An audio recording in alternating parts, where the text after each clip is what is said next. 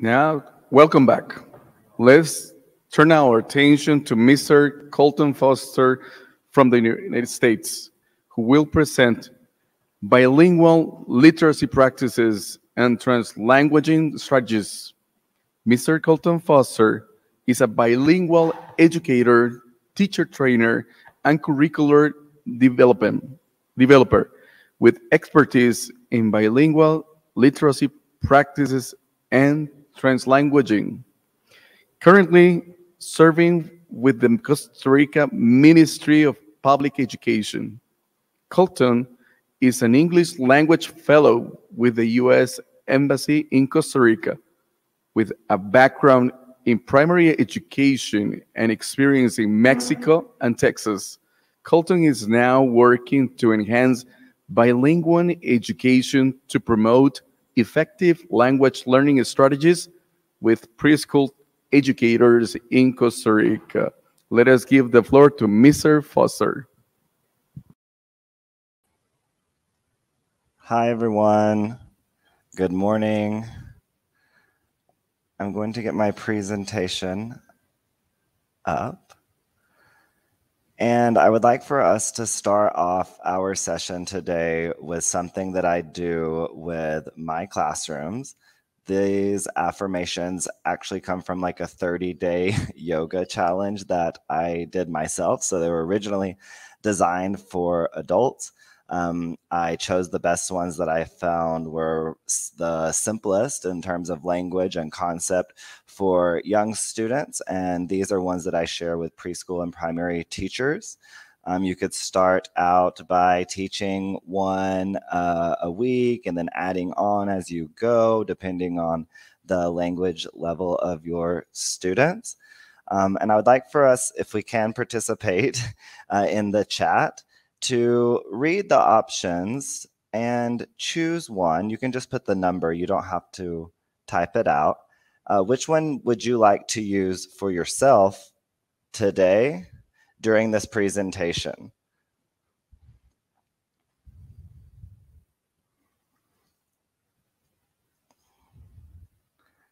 I'm going to put number 12. It says, I am enough, soy suficiente because I'm here, I'm speaking in front of a large group of people and experts, but I know that it's okay. I'm enough. I have something to say.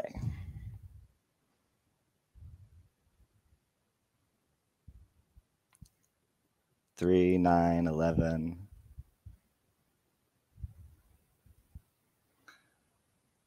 So I feel calm and relaxed. Me siento tra tranquila y relajada. Okay, nine. My peace is my power.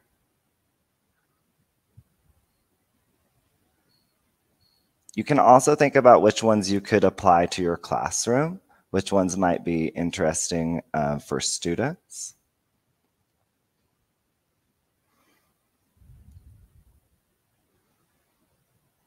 And as an extension, you can ask your students to explain why they chose that affirmation for the day once they know a few of them. So that's just an activity to get us started. As um, they said, my name is Colton Foster. I'm an English language fellow with the U.S. Embassy here in San Jose, and I'm currently posted to the Early Childhood Education Department for the Ministry of Public Education. Um, I have uh, about 12 years of experience in ESL or English as an additional language or foreign language and bilingual education. I've taught in the Carolinas, North and South Carolina, as well as Texas, uh, Dallas, and San Antonio, and Houston for a short time, and in Mexico in the city of Puebla, and also in Mexico City for many years. Um, my bachelor's is in Romance languages and Latin American studies, and my master's is in bilingual education.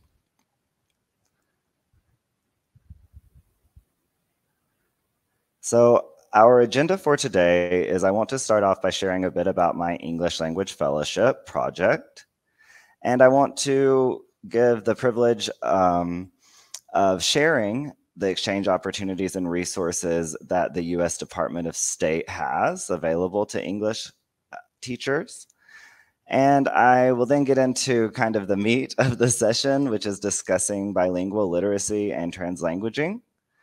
And we're going to be looking at a resource from the US Department of State's sponsored English teaching magazine, the English Language Forum from American English. And the title of that um, article is using L1 in the L2 classroom. So we'll be looking at the resource and then I will be talking a bit about my own experiences. And at the end, of course, we'll have time for questions and discussions as the other sessions have. So for my English language fellowship, I am currently developing a self-paced six module massive open online course that is currently being piloted and will eventually be available for all preschool English teachers across the country. Um, I'm also facilitating monthly dialogue circles with the preschool English teachers here in Costa Rica. And we're looking at EFL teaching practices, and we're trying to foster the learning community that is already there and enrich it. And I've been doing a series of sessions on translanguaging. The next one will be translanguaging session three. and I think that we're just going to have a four part session um, or a fourth part to the series. Um, I'm also conducting observations and participating in teacher trainings in different regions across the country. Uh, those trainings are related to learning accelerators such as ABC Mouse and My Math Academy, which um, those of you that teach in uh, primary and preschool are familiar possibly with those programs and their use in our classrooms here. Um, and I also talk about bilingualism and co-teaching in the EFL classroom. Uh, my favorite part about my fellowship are a lot of the outreach opportunities that I'm able to do and attending conferences such as the this one. Uh, in the photo, you can see that I had the honor of being a spelling bee judge at a high school, a technical high school here in San Jose last week. And that is a photo of me with the winner of the spelling bee. And those are really great opportunities for cultural exchange. Um, speaking of cultural exchange, um, I'm on a government sponsored exchange program through the Office of English Language Programs. Um, and I am posted with the US Embassy here in, in Costa Rica. But there are many um, exchange opportunities available for non-US citizens. I'm on a program specifically designed for US citizens. However, non-US citizens can participate in programs such as the Fulbright Foreign Student Program, the Fulbright Foreign Language Teaching Assistantship, um, also the Humphrey Fellowship and the TEA program are just four of the many programs that are available. And these programs offer graduate level study or opportunities to teach in the United States, leadership development programs of varying lengths, and they also provide scholarship for study in the United States. So I just want to give a nice plug for that. If you go to the website exchanges.state.gov, you are able to put in your home country, the country that you are a citizen of, and it will filter programs for teachers or researchers, etc. So please check that out. Um, I think these programs are uh, really transformational professionally and personally.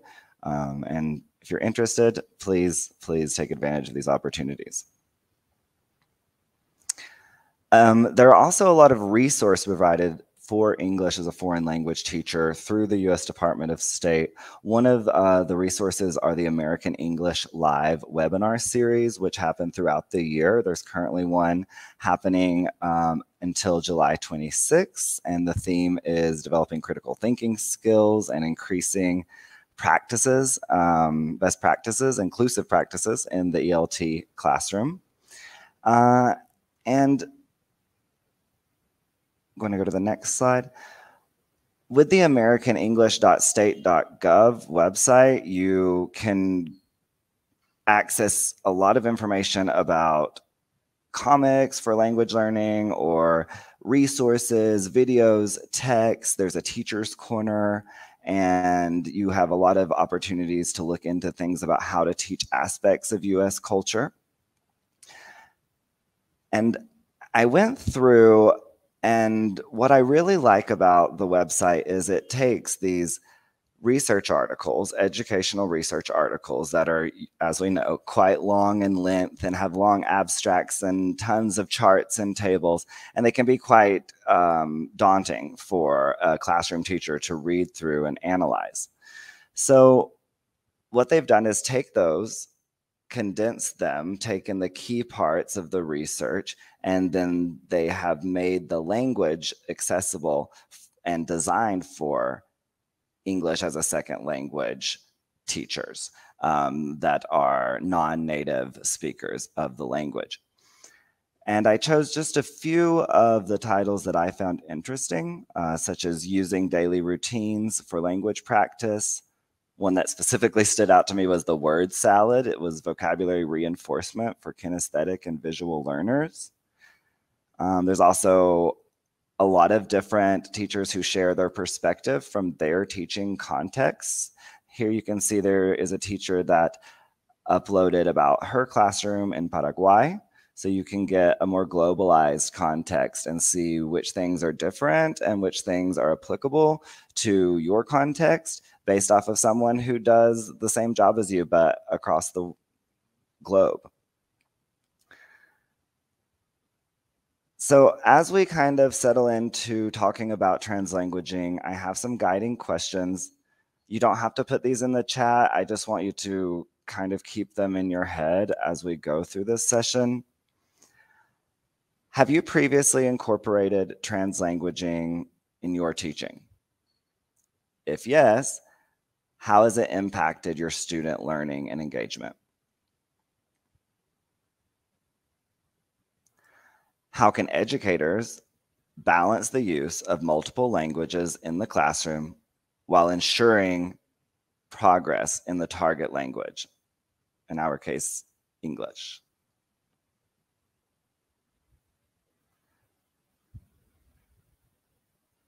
So just keep these in your head as we go through. You'll see another statue thinking, and we'll have a few more opportunities to reflect.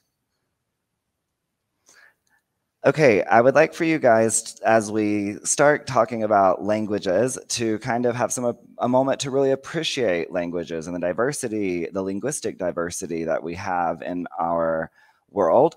And I have an image here with some of the most commonly uh, spoken languages or well-known languages uh, that say welcome in different languages. And if you could, in the chat, please try and identify some of the languages that you see. Obviously, I'll start with English.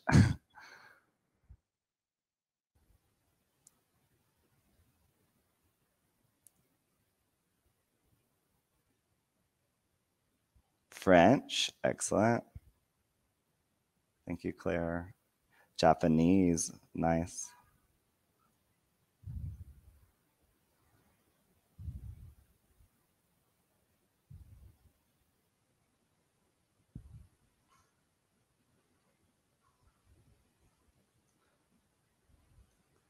Any others? Those are correct.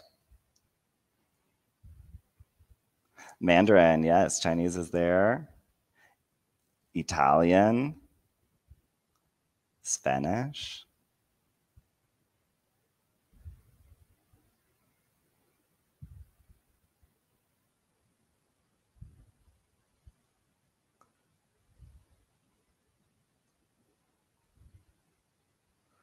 We're missing a few. Arabic with a question mark. Thanks for taking a risk, Anna. You are absolutely correct. Arabic is there in blue at the bottom left. German at the top in green. Nice, Claire. What's the other green one? Russian. Excellent. Good job, Rosa Maria. Did anyone get benvenuto? I think someone said Italian, and I'm I'm questioning if it's not Portuguese.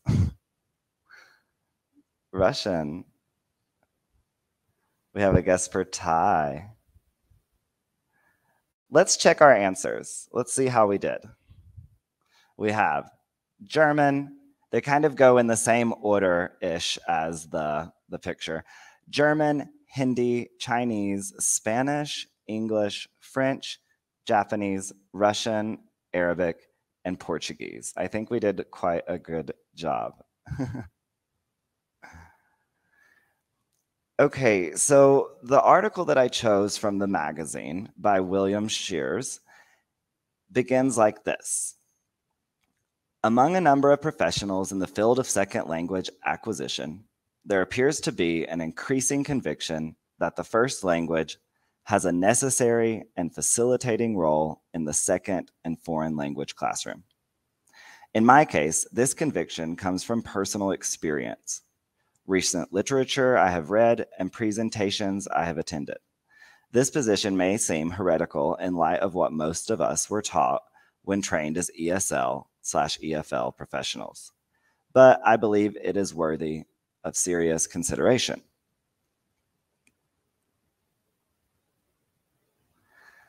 he goes on to talk about how he does some action research and observes his co-teachers or the other teachers working at his school in Puerto Rico. And he says, I recorded the classes of four different teachers this semester, and my findings varied. Two of the professors never used Spanish to address their classes. One of them permitted students to answer questions in Spanish, and the other only used one Spanish word in the frame. How do you say fresa in English? Here I have an example. How do you say ojo in English in that context? The third teacher never addressed her class in Spanish either, but she used Spanish very cleverly to illustrate points that she was making about English. For example, when teaching greetings, she asked the class how one person greets another in English. They said, Hello, how are you? Then she asked them how they greet people in Spanish. They came up with lots of answers. ¿Cómo va todo? ¿Qué cuentas? Pura vida. Buenas. The students came up with those long lists of possibilities. She then explained that it was the same in English and listed many possible greetings used in la that language. So not necessarily their equivalents, but other options to use, such as, hey there, what's up? Long time no see. Hey you. The last teacher used the most Spanish in her teaching. Interestingly, she is the most mature and experienced of the four. While she is speaking in English, she throws in a sentence or phrase in Spanish. This seems to keep the students who do not understand her every word on track as to what is happening in the lesson. For example, we're going to listen to a speech, un discurso de una estudiante activista, and I want you to try and understand what she thinks about recycling. Okay, I want you guys to participate again. Thank you for being so participatory. Um, how do you use your students' native language in your EFL classes? Is it A, B, C, or D? A, you're similar to the first two teachers, not speaking to your students in Spanish or the language of your students, but letting them sometimes answer in L1, or you might say, how do you say this word in English? Are you more like B, the third teacher, where you don't address your students in L1, but you use L1 kind of cleverly to make certain points about English. Are you more like teacher C, where you mix some of the L1 and the L2 to clarify understanding for your students? Or are you D, you use the L1 in your class for a different reason or for different reasons? I'm curious.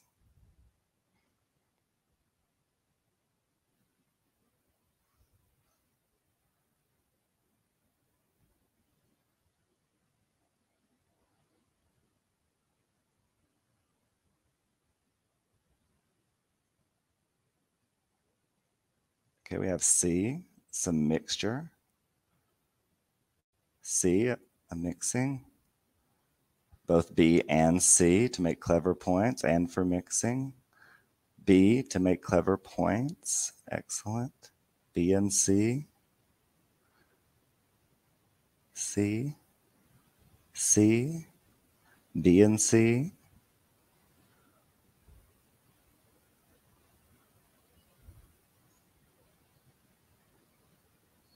C.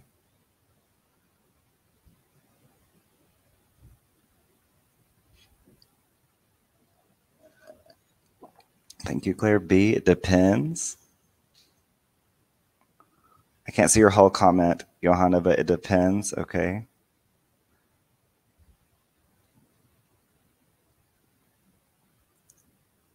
Excellent. B. Also C.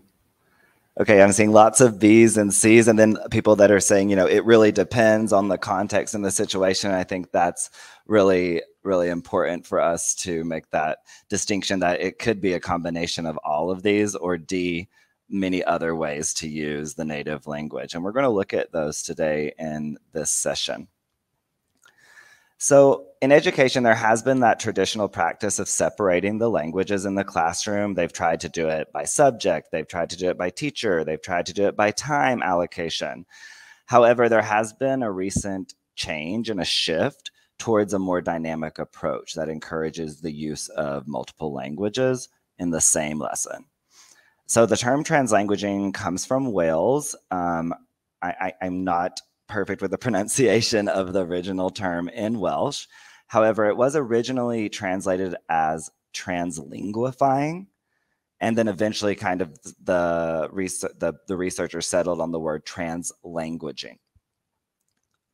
And translanguaging is an approach to language teaching and learning, and it emphasizes the fluid use of languages, and it has a strong background in bilingual education. These two researchers that you can see here on the screen are the researchers that have really pushed um, translanguaging and made it more prominent on the world scale as far as a pedagogy. And this is Ofelia Garcia and Li Wei. Um, there is a, a part here at the right, which is another part that I pulled from the article that we're reading with the Puerto Rican teacher. It says, Starting with the L1 provides a sense of security and validates the learning the learner's lived experiences, allowing them to express themselves. The learner is then willing to experiment and take risks with English.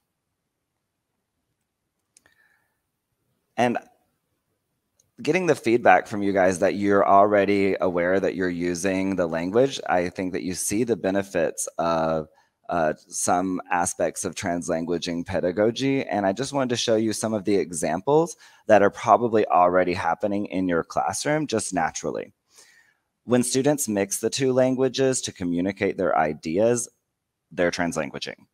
When students whisper something to another student to make sure they understood what the teacher said um, so that they can complete the work that they're doing, that's translanguaging uh, when a student can't think of a word in English and substitutes the Chinese word, or a classmate helps them come up with the word. I wanted to say this word, and they say, no, it's that.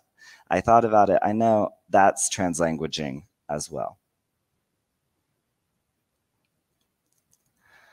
Um, I put a timeline here uh, so we can kind of get a bit of a historical context for those of you who are not aware of kind of the language prestige uh, debate and language revitalization efforts that are happening and have been going on and have been quite successful, and very successful in in Wales. Um, so they were already using this approach with Welsh students as they worked to increase academic skills in English and Welsh. Um, and that was going on around the 1980s in their bilingual education programs. And then the two researchers I showed you prior, they have a book. It was written in 1994 called Translanguaging Language, Bilingualism, and Education. So while this concept is relatively new, it is not completely new. It has been going on, you know, since the 80s, and it's still taking time for this to really be incorporated into pedagogy. Um, the framework has expanded, like I said, uh, around the years 2004 to 2008, but I'd like for us to focus on the end of the timeline.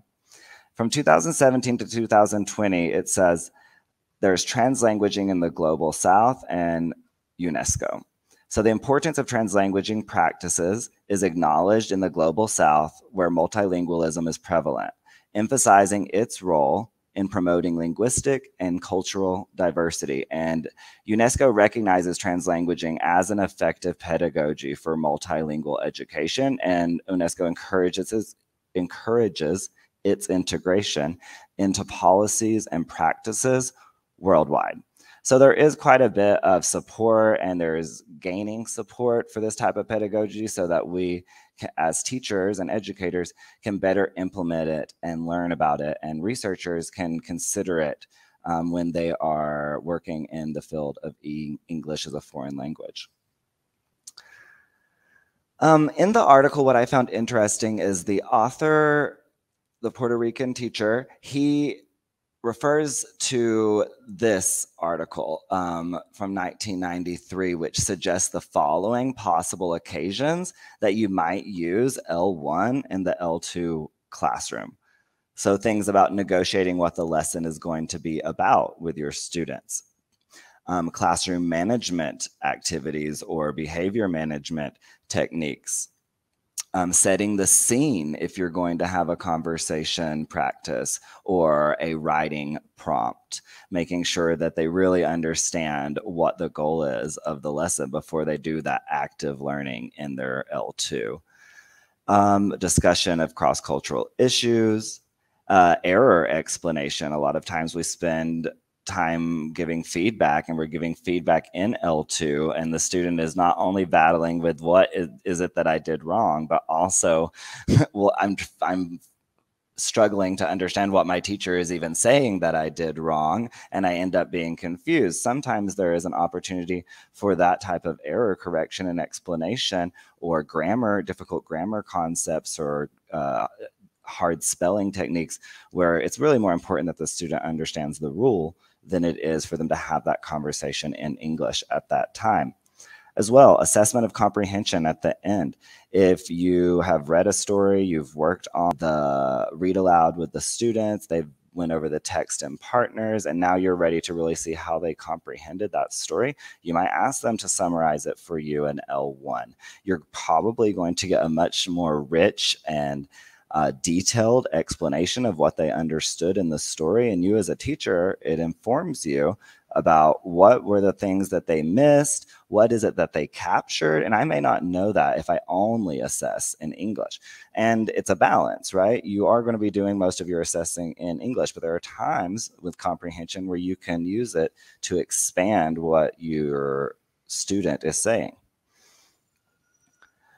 Um, I would like for you guys to again just think about how you could take advantage of using L1 in any of these following situations. So again, in the chat, um, I know that's our kind of our only way to interact. Um, if you could say an idea that you have, or if one of these appeals to you, you can type it into the chat, such as joking around with students. So I'm going to put to make jokes and have fun with my students. I definitely incorporate Spanish into my class because my students laugh at a lot of my jokes and then I make jokes in English. Sometimes they don't necessarily laugh. Um, and I try to do that to build rapport.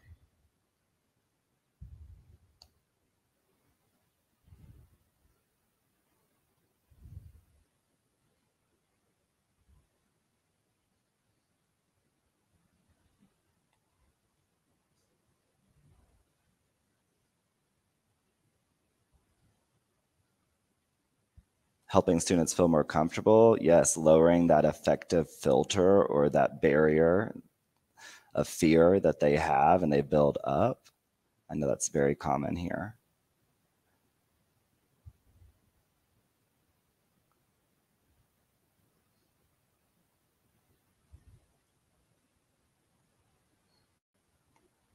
We're going to joke around with students so they can feel comfortable and secure. Yeah, that safety in the classroom.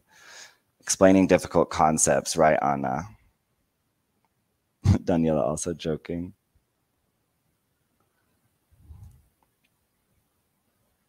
One, four, six, seven, and nine. To test, help students feel more comfortable, carry out small group work. Excellent.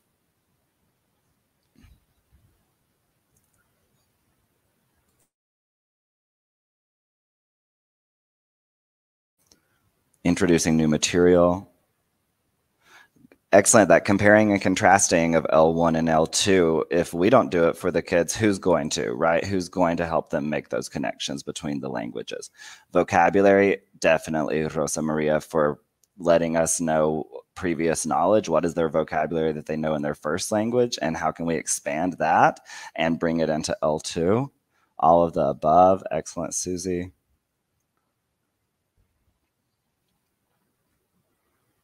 Great. We're going to advance on just for time. Thank you for all of you who shared.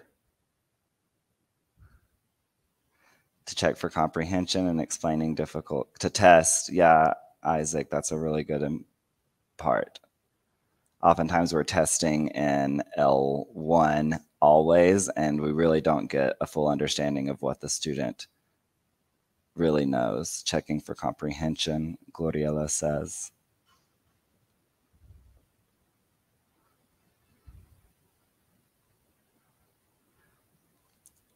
Okay, the author goes on and he says, in spite of my allowing a role for Spanish in my classroom, students spontaneously use English in class and while working on tasks.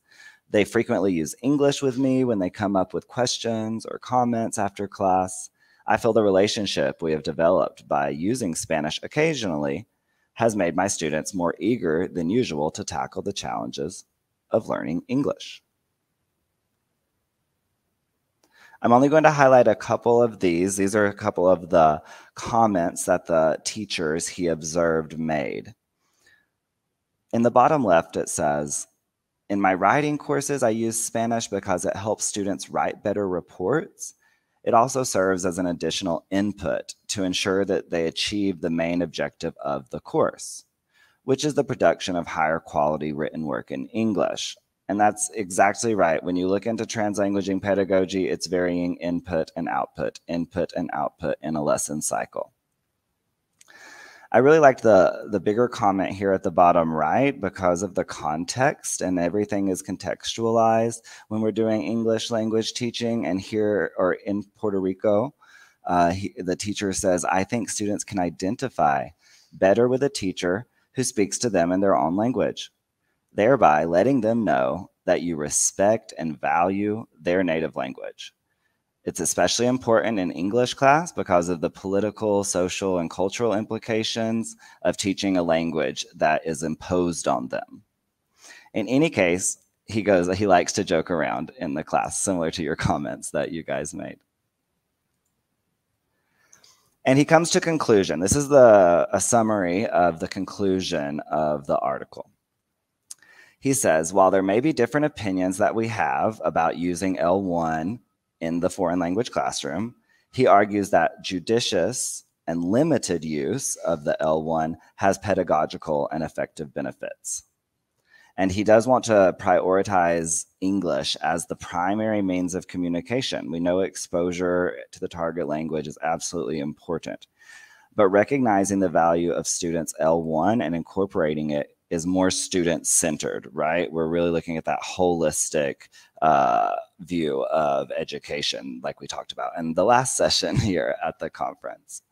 Um, the use of L1 can also help dispel any negative attitudes and kind of increase receptivity to learning the language. If you invite the native language in, it's not such of a barrier to them because they can the students see themselves in the class and that their contributions, their language, their culture is valued and that they can make uh, they can find similarities and differences with other cultures. Are these teachers in EFL or SESL environments or both? Anna asked.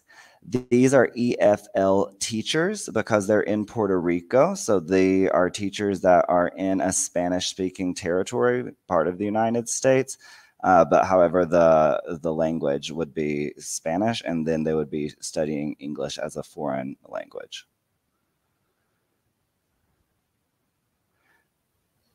I have seen the more complex and outer from the reality. They tend to need translanguaging more.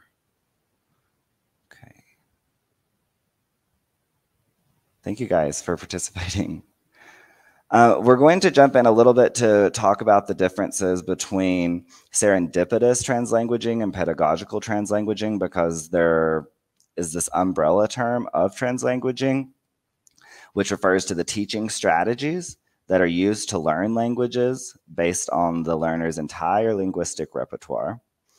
Um, and translanguaging can also just refer to those spontaneous multilingual practices that bilingual and multilingual individuals uh, use every day, but applying those in a pedagogical way. So in other words, pedagogical translanguaging refers to specific teaching strategies, planned and unplanned, and serendipitous translanguaging refers to the discursive practices. So the ways that speakers use language. It's a bit more speaker focused as opposed to language focused itself. So looking at translanguaging as a pedagogy, we know that it's going to provide opportunities for students to develop academic language practices, especially as you bridge from one language to the other, helping them make those connections and distinguish between them as well by comparing and contrasting. Uh, it can support students as they engage with more complicated and complex tasks such as viewing videos in their native language as a pre-activity before creating a poster in English as a final product. So that way they can fully understand the concept or having some options in the native language to really make sure that the content is understood because we're often integrating content and language learning. And we know that it makes a space for students' bilingual ways of thinking and knowing and doesn't put a limit on them or forcing them into operating as a monolingual when they are in fact not monolinguals or they're working to be bilingual or they're emergent. And uh, students' um, social and emotional needs are often supported when you put in translanguaging uh, into the classroom. And I've seen it in my own classroom, and I'll give you a few examples in just a moment. Uh, to touch on that serendipitous translanguaging, the spontaneous and unplanned use of languages, you can use the moments where students are translanguaging naturally and make that a teaching moment. Um, if you allow learners to naturally draw upon their linguistic resources to enhance their comprehension, um, you can help them develop language skills that are more contextualized, which is our goal, right? And that student-centered learning experience. Here I have two pictures from my former students. So I have uh, two third grade girls in the bottom left photo and two first grade boys in the photo on the right. And I would like for you to answer what translanguaging strategies can you see? And is it pedagogical or spontaneous?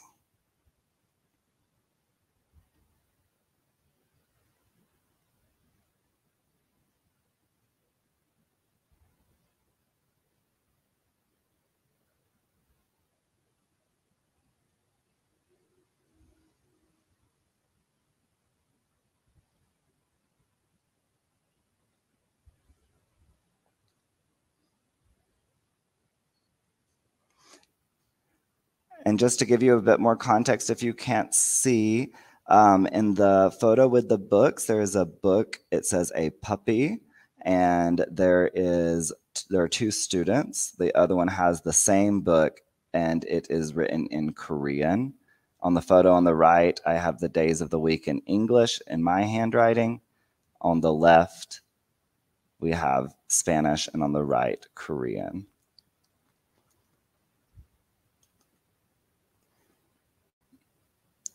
Okay, we're seeing some different opinions come in.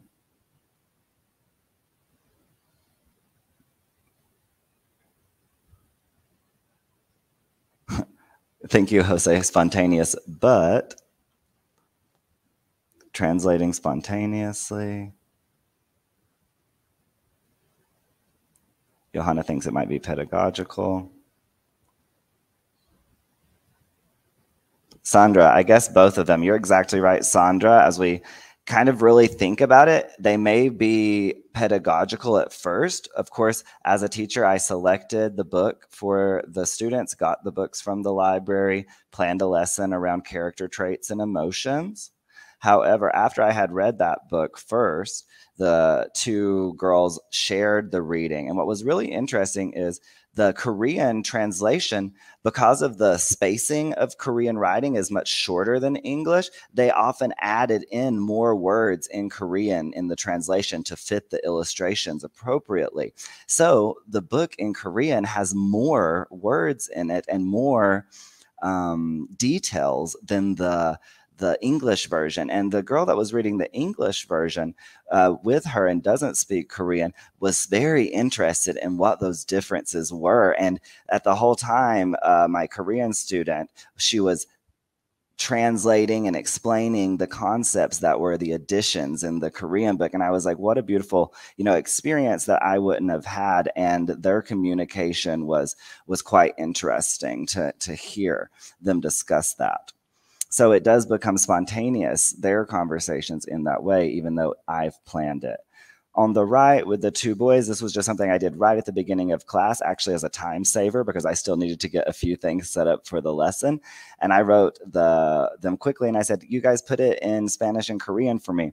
And what is nice is it's also a comprehension check for me. It's a reading activity for my first grader. They're having to read, understand, put it into their native language. And I'm able to check it with Samuel writing in Spanish. I could quickly just see, yep, he understands the days of the week, or he knows their equivalents at least. And I knew with Junho, I used my phone with the Google image translation to hold it up and see if he translated it correctly.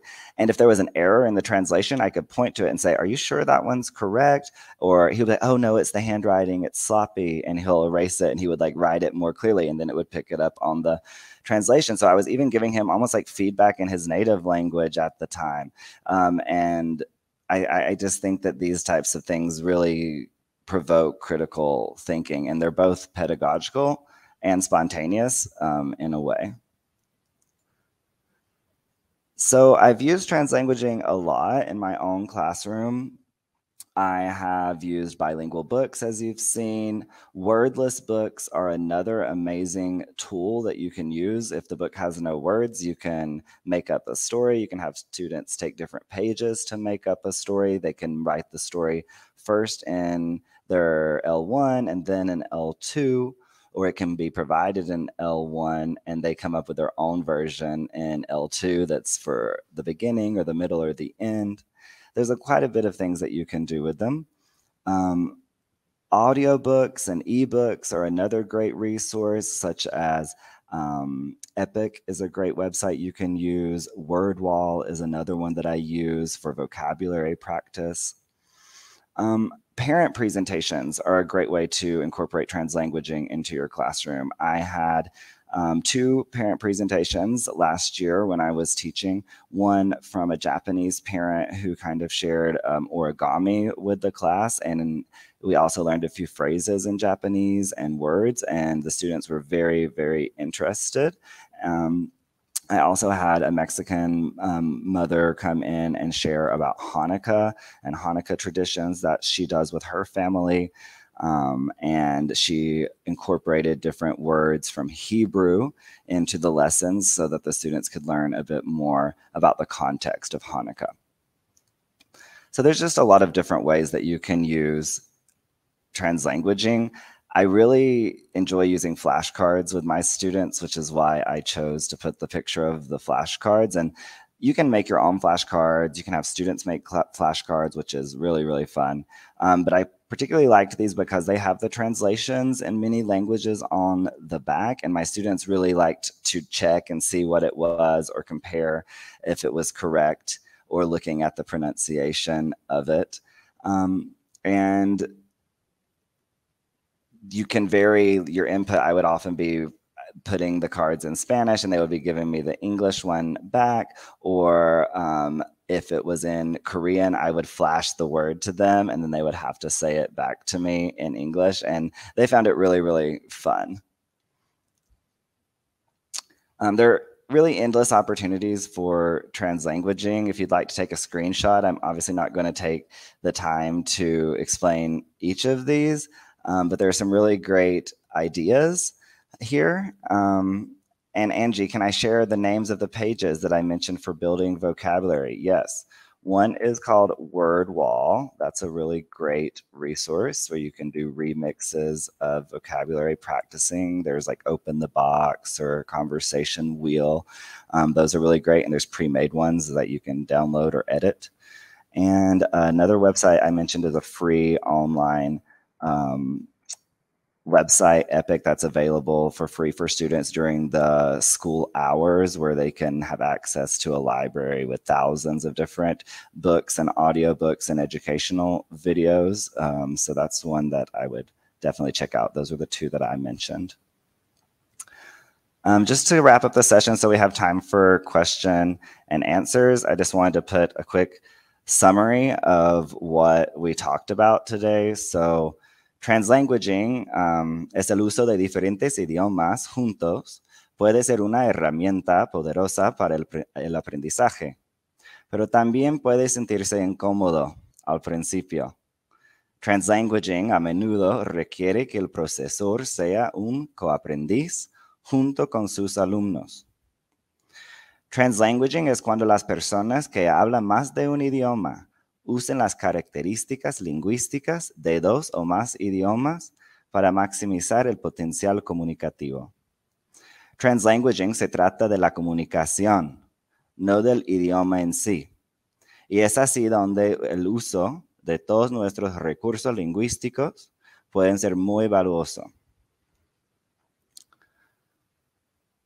I have some discussion questions here um, that you can consider, um, and I'm sure that you guys have even better ones. Um, it's just how can you enhance, uh, how can translanguaging enhance the language learning and academic achievement of your students? Uh, what are the potential benefits and the challenges of implementing translanguaging? Um, how does translanguaging align with a student-centered and culturally responsive pedagogy? And what role does the teacher play in kind of creating a supportive environment for translanguaging? And I want to give a shout out to, I don't remember the guy's name that did the session on artificial intelligence and gave us the image creation of GenCraft. I used it to edit some of the photos in this presentation, and it was really, really cool. So I'm glad that I was able to take something that I learned in the seminar and actually use it in this presentation. So shout out to that session. It was awesome. I'm going to stop sharing.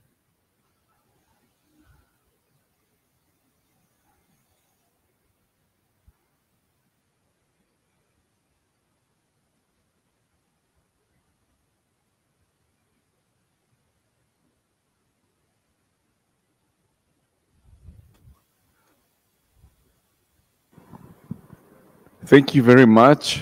We will open now the floor for questions. I would like to start uh, by saying that sometimes this um, translanguaging approach is very useful to develop critical thinking. However, what do you think? Can we apply this translanguaging at lower levels with kids? What happens when a group of students are have a very high proficiency level? Do you recommend maybe it is not using the L1, but maybe another language that can complement the learning and enriching the classroom. What do you think? Okay, so your question is can it be used with older students and should it be with their L1 or an additional language? Did I get that correct? Correct. Okay, so yes, it can definitely be used with L1. Um, my previous position was at the National Autonomous University of Mexico. So I worked in their foreign language department and I used it with my college university students, some of whom were three times my age. Um, like, like we had like uh, quite a few uh, professors there and they uh, often use this strategy as well. So what I would do is, for example, um, have them choose one of their favorite songs in Spanish and try to rewrite uh, the lyrics to fit the tune, which is quite a challenging thing to do because you can't rely on translation. You have to rely on the number of syllables that are in there. So that's quite a bit of a critical thinking um, strategy. Um, also, putting text by text. So if we're reading a text in English, having the text in the native language um, side by side and looking at the comparisons of word choice or syntax can be really important for um, older students. Um, so yeah, I don't think that there is any uh, diff different or there isn't a reason that you can't do it at different levels. However, how you apply the technique uh, depends on the age because of making sure that it's an age appropriate activity. But yes, we can all, as adults and even as very proficient speakers of a second language, we're still constantly learning our second language. And so there are many ways that we can utilize our native language. Um, and then the transfer happens backwards. Um, so like when I'm learning um, in Spanish, I'm also enriching my native language with words like inundated, which is a very difficult word in English. But if you know the word for flood in Spanish, inundación, it's a very easy word. So there's quite a few um, language transferring that is happening uh, between and among languages. So of course you can include other languages as well to make those comparisons. If you want to say, look how the preterite is constructed in Korean, that would be a, a, great way to look at languages in general so that you can really understand what is unique to English, which is the target language that you're teaching.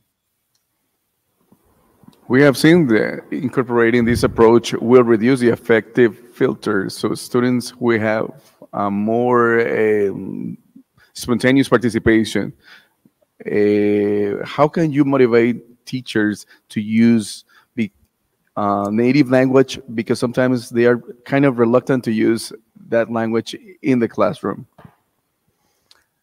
Um, I would say that it really is more of like a paradigm shift and a professional development um, of administrators. So, in many of the conversations that I have um, in the United States and um, in Mexico and here in Costa Rica as well, it's kind of like a recurring theme, and it's a lot of um, kind of issues that have to do with like language um, politics. And I think that a lot of administrators, when I say, you know, your, your teacher should be implementing translanguaging, they should be doing a small introduction in Spanish and then doing their lesson predominantly in English and then doing a wrap up in Spanish again to make sure that they understand what's going on.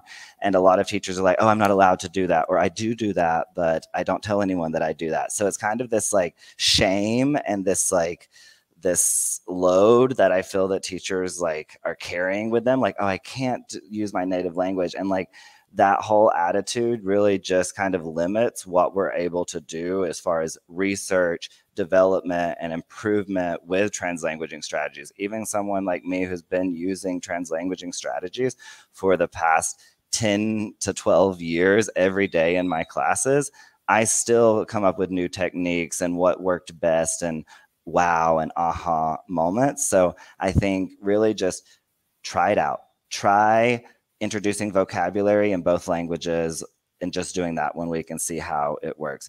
Try asking students to write a one sentence summary of how they felt during the lesson, or try something as simple as showing a video of a a profound speaker, like we talked about TED Talks in one of our sessions here at the conference. Putting a TED Talk in English, putting a TED Talk in Spanish, maybe first looking at what were the words that they chose to make that really impactful. And then looking at a topic in english that covers it it can also be building background knowledge in the first video if it's tied to the same theme as the second one. So i would just say as a teacher and as a bilingual person think about how you use language and how it varies throughout the day and what you use your languages for and try to implement that those same types of practices in your classroom because that's a more realistic um, reality of what uh, bilingual practices are, and we should be representing that in our classroom. You're mentioning teacher Angie is also saying that she she have used she has used this in um, in with English, Italian, and Spanish, and it really motivates students. Very useful. Yeah, excellent. I think that uh, just le learning about languages in general is really important as a foreign language teacher. And you're usually not just have one L1 in the classroom. And you also have many students that don't have one L1. They're simultaneous bilinguals. They may be bilingual from birth. They may be heritage speakers. They may speak a native language. They may be um, have a, a Japanese parents or something like that, right? So there are a lot of linguistic diversity that we may not even be aware of if we don't do things like home language surveys or invite that language into the classroom um, because the child is afraid of using it. You know, I don't see many native students using the native language in, in the classrooms um, or that being invited in either. Um, similar in the United States, it's been um, many of my debates with teachers is inviting, you know, the Spanish language in because that's the majority of the second language learners that I had in Texas. However, yeah, it definitely works for multilingual classrooms as well. I've had classrooms where I've had uh, seven different languages, you know, in one class working at an international school. And I had to, you know, well, okay, how is it in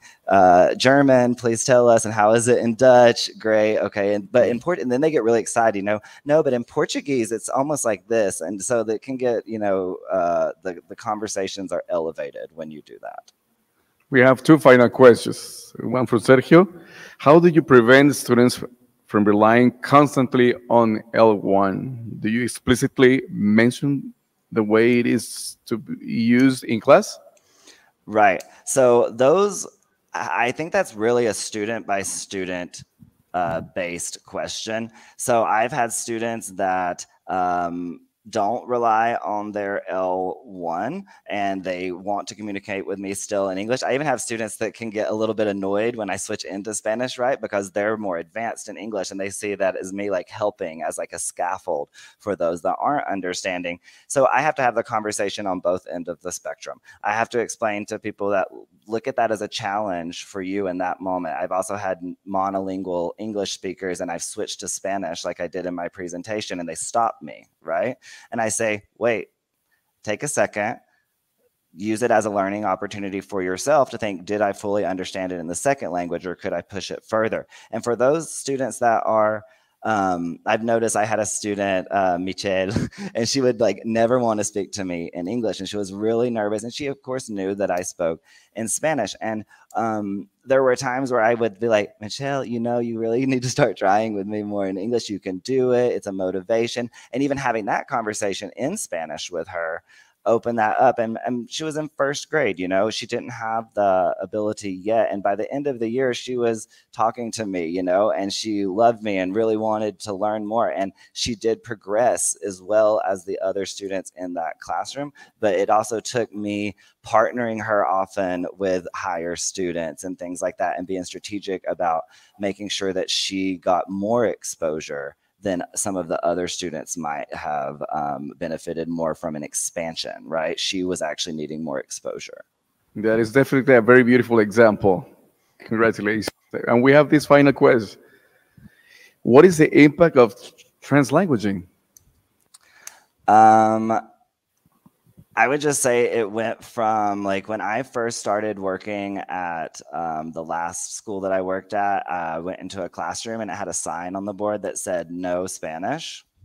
Um, and then by the time I left that institution, we were going through translanguaging trainings, the entire staff. So even in that short amount of time, I worked at that school for five years, you can change the attitudes of institutions and staff with really not that much training, just getting an introduction and allowing it. And then you can build upon that. But I think that first step is taking away that ban because when you put laws or bans or say no and, and, and complete no's, um, it doesn't open the chance for like but what about this purpose and this purpose and this purpose so i think that's something that we need to consider is just opening it up in the first place so we can all become better about how we can do it effectively Thank you very much, Mr.